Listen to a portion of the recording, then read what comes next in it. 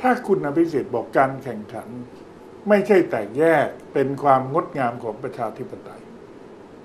พักการเมืองบางพักก็แตกตัวบอกว่าเพื่อแข่งขันบอกพูดเลยก็ได้แข่งจริงหรือเปล่าครับอันนั้นอันนั้นไม่รู้แต่ว่าขณะนี้เนี่ยก็ต้องถามต้องถามคุณมันเป็นผมต้องฟันธงเลย ว่าถ้าถ้าอาจารย์พูดในแนวคิดที่บอกว่า แตกตัวออกไปพูดง่าย ๆ ก็คืเพื่อแข่งขันไงฮะเขาก็อ้างได้ว่าเพื่อแข่งขัน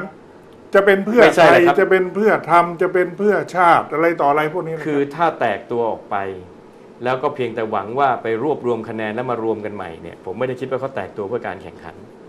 มและผมก็ยืนยันว่าพรรคประชาธิปัตย์เนี่ยไม่นิยมและไม่เห็นด้วย กับแนวความคิดที่จะทำสิ่งที่เขาเรียกอะไรนะพักสาขาเลย อืมเพราะผมมองว่ามันไม่ค่อยตรงไปตรงมากับประชาชน คุณอภิสิทธิ์ผมเนี่ยทำงานด้านการเกษตรมานาน ผมเคยเห็นแป้งมันสำปะหลังออกจากโรงงานเดียวกันเลย เขาใส่ถุงก็บอกแล้วแต่คุณจะเอาตราอะไร คุณจะเอายี่ห้ออะไร แต่เหมือนกันหมด เหมือนกันหมด เขาก็ใส่ถุงเพื่อจะไปจับตลาดต่างกันบางคนชอบตราดอกบัวบางคนชอบตามังกรบางคนชอบครับตาอะไรก็ตาม เขาก็ขายได้เยอะขึ้น ประชาธิปัตย์ทำไมไม่คิดจะทำอย่างนั้น คือเรื่องของสินค้ากับเรื่องของการเมืองเนี่ยคงจะมาเปรียบเทียบให้มันเหมือนกันหมด คงไม่ได้อ้าวแต่เขาก็ใช้หลัก marketing ผมผมอยากจะบอกอย่างนี้ครับว่า ในแง่ของการให้ประชาชนเลือกเนี่ย คุณต้องโปร่งใสว่าคุณคืออะไร ถ้าเขาแตกออกไปแล้วเขาบอกว่าจริง ๆเขาเป็นพวกเดียวกันหมดนั่นแหละอืมผมก็ไม่ว่านะ ขอให้โปร่งใส แต่ไม่ใช่เหมือนกับแสดงตัวว่าอ๋อนี่เป็นพักใหม่แข่งกันไม่ได้มีแนวความคิดเหมือนอะไรกับใครหรอกแต่จริง ๆ คือตกลงกันไว้หมดแล้วอืมว่าสุดท้ายนี่ก็คือพวกเดียวกันนั่นแหละ แต่ว่าเหมือนกับว่าพื้นที่นี้ ยี่ห้อนี้ขายไม่เคยออก ก็เลยขอไปตกแต่ง แล้วก็ทำเป็นยี่ห้ออื่น แต่สุดท้ายคือกลุ่มเดียวกัน ผมว่าอย่างนั้นไม่ค่อยตรงไปตรงมาตกลงคุณอภิสิทธิ์คิดว่าแบบนี้ไม่ใช่เพื่อการแข่งขันไม่ใช่ ไม่ว่าจะเป็นเพื่อหนึ่งบวกเพื่อสองบวกเพื่อสามแล้วจะเรียกว่าเป็นเพื่ออะไรครับ ถ้าไม่ใช่เพื่อการก็กลับมาเพื่อไอ้ไอ้อันแรกนั่นแหละ เพื่อหนึ่งเนี่ยนะครับใช่ก็มีคนบอกว่าเพื่ออะไรก็แล้วแต่เนี่ย แต่ดูพฤติกรรม กรรมเป็นเครื่องชี้เจตนา ตอนนี้สื่อมวลชนก็จับตาดูว่า แกนนำของสามเพื่อ ไปพบคุณทักษิณที่ฮ่องกงแล้วก็บอกว่ามีข่าวออกมาว่ารายงานข่าว ดูในสื่อมวลชนได้คุณคุณอภิสิทธิ์เพิ่งไปมาจากเซาท์แอฟริกาอาจจะไม่รู้ ผมไม่รู้คุณอภิสิทธิ์ได้ตามข่าวหรือเปล่าสื่อมวลชนเขาบอกว่ามีการไปตกลงกันว่า เขตไหนพักไหนจะลงพักไหนจะหลีกพักไหนจะทำอย่างไรเนี่ย คุณอภิสิทธิ์จะว่างไงถ้าแบบนี้ มันก็เป็นกลยุทธ์อย่างหนึ่งได้ไหมคือจริง ๆ แล้วเนี่ยนะครับ ถ้าไปดูกฎหมายพักการเมืองออแล้วก็กฎหมายเลือกตั้งเนี่ย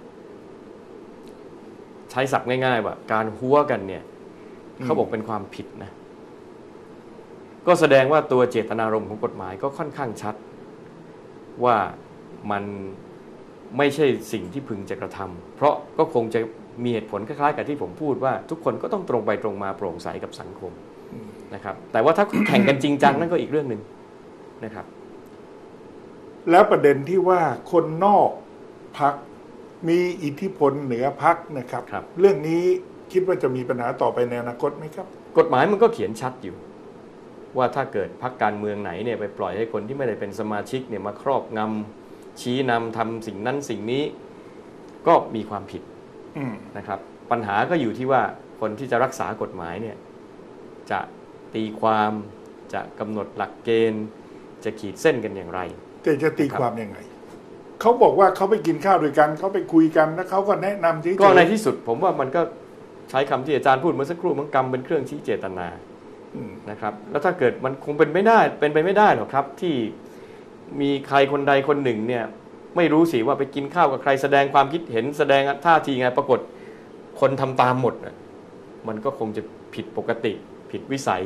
นะครับ แต่เรื่องนี้ก็ต้องอยู่ที่ข้อเท็จจริงนะครับ ผมก็ไม่ทราบเห็นแต่รายงานข่าวว่าบินไปฮ่องกง บินไปฮ่องกง ไม่รู้เขาคุยอะไรอย่างไร มีหลักฐานแค่ไหน อันนั้นก็เป็นขั้วการเมืองขั้วหนึ่ง ผมต้องถามให้ครบสามขั้ว ราะว่าจริง ๆ แล้วเราผมวิเคราะห์ว่าการเมืองไทยเนี่ยมันอยู่ที่สามขั้ว อีกขั้วหนึ่งพลเอกประยุทธ์เดินเดินสาย ลงเรือ ดูเหมือนท่านยังไม่ค่อยยอมรับนะว่าท่านเป็นท่านเกี่ยวข้องกับพรรคการเมืองตกลท่างนบอกท่านแค่สนใจการเมือง เออทำไมถึงแย้มไปแย้มมาแล้วก็ก็ค่อยผมว่าความความคาดหมายของสังคมมันก็ชัดนะครับ ว่าท่านก็คงจะ ถ้าสนถ้าถ้าถ้าเริ่มต้นจากการบอกสนใจการเมืองก็คงปูทางเพื่อเข้ามาสู่การเมือง จริง ๆ ผมก็อยากให้ท่านโปร่งใสนั่นแหละ เอาให้ชัคือดบอกๆไปซะเลเลยยใช่ครับ เพราะขณะนี้เนี่ยก็มีคนในรัฐบาลที่อยู่กับท่านตั้งสี่ท่านใช่ไหมที่ไปเป็นสมาชิกพรรคการเมืองอยู่แล้วดำรงตำแหน่งสำคัญสำคัญในพรรคการเมืองด้วยซึ่งเราก็เคยคุยไปแล้วว่า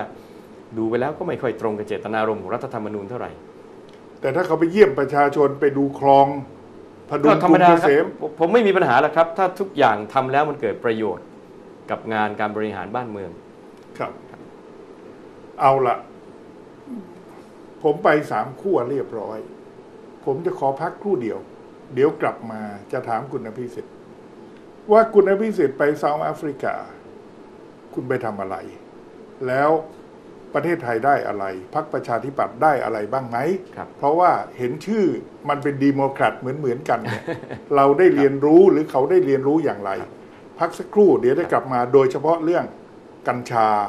แล้วก็เรื่องสนามบินสุวรรณภูมิ เพราะว่าคุณไปต่างประเทศคุณก็ต้องติดค้างก็คุณก็ต้องผ่านสุวรรณภูมิผมก็ผมก็เลยคิดว่าเรื่องนั้นก็น่าสนใจครับ สักครู่ครับ